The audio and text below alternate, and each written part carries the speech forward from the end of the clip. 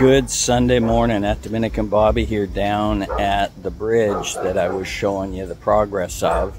And this is after a week of rains and like I said before them not doing some maintenance to make it flow better. So this is now what the road looks like this morning. Almost virtually impassable. As you can see, it's pushed up.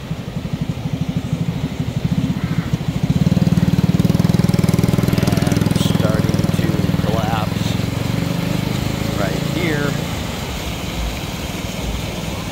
And this is starting to pull away.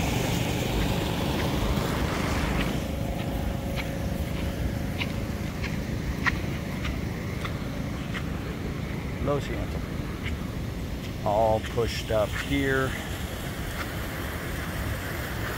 huge chunk of road missing there.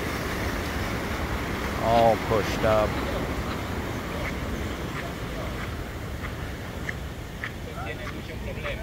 Sí, mucho problema.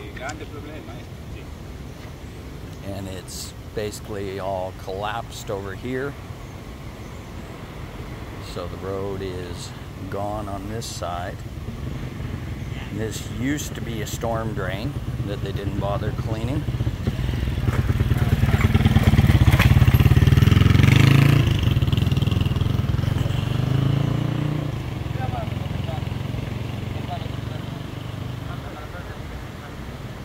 And that piece of whatever tree has pushed up through the road from underneath from the pressure of the water.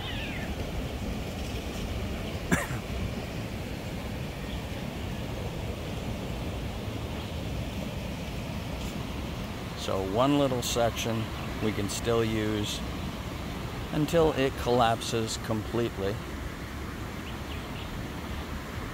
And then if we come over to here where the main problem is,